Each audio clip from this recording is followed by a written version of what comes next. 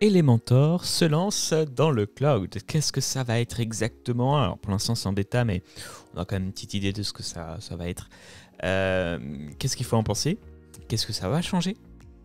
On en parle aujourd'hui dans ce talk. Allez, suivez-moi, c'est parti. On va commencer déjà par regarder un petit peu euh, ce que nous propose la version, ça reste une version de test, hein, euh, en bêta pour l'instant, d'Elementor Cloud. Alors, faut à la fois euh, se dire, bon, c'est pas c'est pas non plus révolutionnaire puisque grosso modo ce à quoi on peut s'attendre euh, pour l'instant c'est pas encore sorti mais euh, d'après ce qu'on peut regarder ici sur le site ce sera tout simplement un hébergeur spécialisé ce qui est à la fois assez courant dans WordPress au sens où euh, bah, WordPress a son propre hébergeur qui permet d'optimiser les performances de WordPress par rapport à certains plugins type Jetpack. Donc c'est sur WordPress, euh, voilà, vous avez une option payante Euh, et il y a des hébergeurs qui sont spécialisés euh, avec euh, voilà certains cer- certaines niches. Donc à la fois c'est pas étonnant que Elementor se lance dans, dans l'hébergement et à la fois c'est aussi à ma connaissance euh, assez rare que ce soit un éditeur de plugins qui le fasse.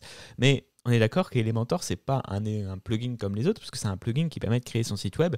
Et c'est une extension vraiment forte d'Elementor, au sens, enfin de WordPress, au sens où, quand vous allez utiliser Elementor, vous allez avoir euh, un écosystème qui vous permet de créer un thème sur mesure, avec la version pro en tout cas.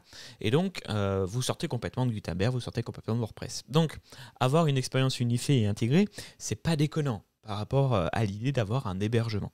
Alors là où ça peut être un petit peu déceptif peut-être, c'est que en fait on va se retrouver avec un hébergeur, je pense, assez classique, c'est-à-dire que euh, vous allez pouvoir euh, insérer WordPress. Hein, bien sûr, il va tourner sur WordPress, c'est ce qui est marqué ici. WordPress est préinstallé. Bien sûr, il va quand même vous laisser, parce que c'est WordPress, sinon ça n'aurait pas, d'intérêt. Il, va vous laisser installer d'autres plugins. Mais pour ce qui est du thème, bien sûr, vous aurez préinstallé Elementor, évidemment. Alors, euh, c'est une bonne nouvelle pour plusieurs raisons. Euh, c'est une bonne nouvelle parce que d'une part, ça va être un hébergement qui va être euh, entre guillemets préconfiguré pour fonctionner avec Elementor. On sait aujourd'hui que quand même pas mal de, de plugins ou de thèmes surtout qui sont pas forcément compatibles avec Elementor. Donc là, du coup, vous allez avoir une expérience unifiée globale plus simple. C'est une bonne nouvelle parce que du coup, si l'UX est bien fait, c'est là où attention, ça va quand même être euh, assez important de, bah, tester ça. Euh, bah, si l'UX est bien faite, bah, vous allez avoir tout simplement une expérience peut-être plus simple pour créer un site web. Euh, c'est aussi une bonne nouvelle parce qu'en théorie, voilà, on va avoir des sites qui seront quand même orientés pour fonctionner avec Elementor, donc des sites vitrines, des blogs par exemple. Euh, et donc, normalement, ce sera un hébergement qui sera assez spécifique, pour, qui répondra très bien à ce type de besoin-là. Et du coup, euh, ça vous fera gagner du temps, ça vous fera gagner en sécurité, si bien sûr, là, bien sûr, il ne faudra pas non plus tirer euh, tout de suite des, idées trop fortes, des plans sous la gommette, voilà, ou avoir trop de il faut tester, quoi, tout simplement, il faut tester en vrai euh, pour se rendre compte de ce que sera cet hébergement, la qualité et l'hébergement et le support. Mais euh, on vous promet, voilà, 200 gigas de, sto- de, de- de- stockage, qui est quand même pas énorme, Euh, ce qui est bien, hein, mais si on veut faire tourner plusieurs sites, pas non plus énorme. Euh, 500 gigas de, euh, donc ça c'est la bande passante. Euh, pas énorme non plus, 25 000 visites par mois. Voilà, on est vraiment sur une niche de, de, de sites vitrines, mais ce qui est complètement classique et une logique par rapport à, Elementor, euh, qui matchera, je pense, euh, facilement. Donc il n'y aura pas de souci sur ça. Par contre, là, vu euh, les, contraintes, on s'oriente, j'imagine, quand même plus vers un, un plan unique, c'est-à-dire pour un site, ou alors on pourrait faire tourner plusieurs petits, ou voire même très petits sites sur un seul hébergement si c'est possible, mais on s'oriente vers quand même quelque chose d'assez classique. Euh, le SSL, bien sûr, ça c'est normal, la possibilité de pouvoir euh, donner son nom de domaine enfin l'amener et le lier. Euh, sur Elementor, on va avoir bien sûr Elementor Pro d'inclus, encore heureux. Euh, donc à voir exactement si en payant le nom de domaine, on aura la licence d'Elementor d'inclus ou pas. J'imagine que oui. Donc ce sera une autre façon, et c'est ça aussi la bonne nouvelle, une autre façon de consommer euh, Elementor, peut-être plus simple. Peut-être plus simple aussi de dire à un client si demain vous êtes freelance, voilà, vous prenez votre hébergement là et puis comme ça vous avez la possibilité de créer des sites web avec la licence qui est automatiquement renouvelée d'Elementor. Donc ça, c'est plutôt pas mal.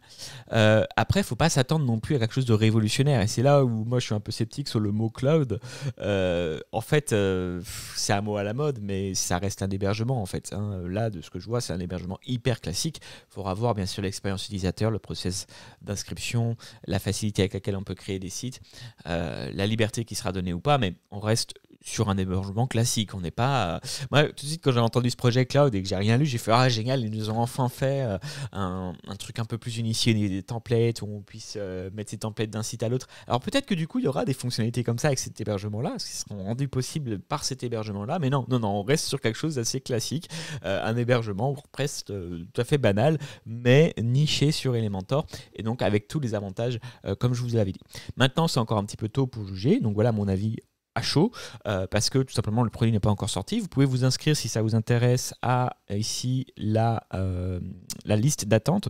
Il est marqué qu'on peut bénéficier d'un essai gratuit, donc je vous, je vous le testerai quand ça, sortira tout simplement. Euh, voilà, après, je vous dis franchement, sur le reste, on est assez, assez classique. voilà, donc moi je dis pourquoi pas. Pourquoi pas pour le côté simplification, comme je vous dis, pour un, pour un freelance, ça peut être assez cool euh, d'avoir à dire, bah voilà, vous prenez votre hébergement sur les mentors, je vous fais mon site sur les mentors, comme ça vous avez les, la, licence et les mentors qui est incluse dans le prix de votre hébergement.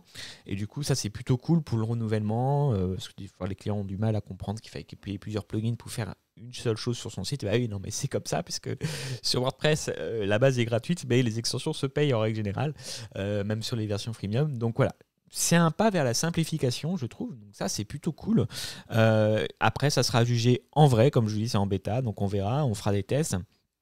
Euh, voilà, tout simplement. Alors après, toujours pareil, euh, où est-ce que c'est hébergé? Là, aujourd'hui, ils vous disent qu'il est entièrement hébergé par Elementor Cloud. Donc ça, c'est génial. Merci pour l'info. Ouais, mais il est où physiquement? Parce que vous savez qu'en France, ça c'est important aussi quand même avec le RGBD. Il faut que ça soit au moins en Europe. Là, on ne sait pas. Hein, donc, euh, bon, euh, ça serait sympa qu'il nous réponde un peu précisément où est-ce que c'est hébergé. Euh, voilà. À mon avis, sera quand même en Amérique. Hein. Euh, vu qu'Elementor euh, voilà, reste une entreprise américaine, bon, bah, à mon avis, ça sera, en Amérique. Donc là aussi, à faire attention euh, par rapport à, ça. Mais c'est bien de tester. Et puis surtout, moi, ce que j'aime bien, et c'est sur ça qu'on va finir, c'est que ça va vers le côté un petit peu aussi simplification. Elementor a compris qu'il n'était pas qu'un certain. qui fait que se vendre vraiment pas que comme un plugin, mais comme une expérience au global, euh, puisqu'il modifie en profondeur l'expérience utilisateur sur WordPress.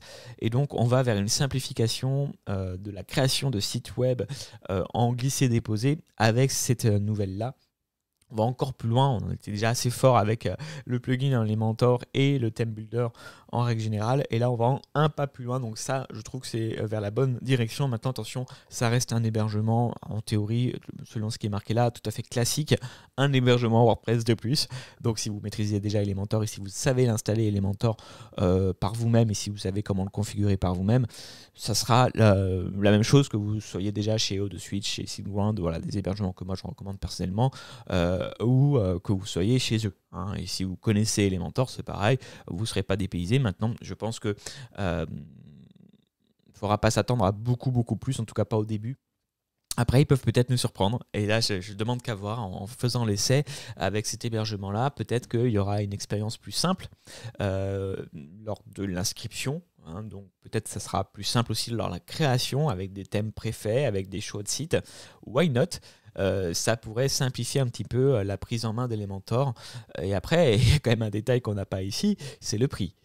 Euh, donc ça, aujourd'hui, ça sera aussi bien sûr quelque chose à, voir. Voilà, c'était mon avis vers la un bon pas, je trouve, mais pas un pas extraordinaire euh, pour, euh, pour résumer. Et puis, bien sûr, j'attends quand même de réviser cet avis.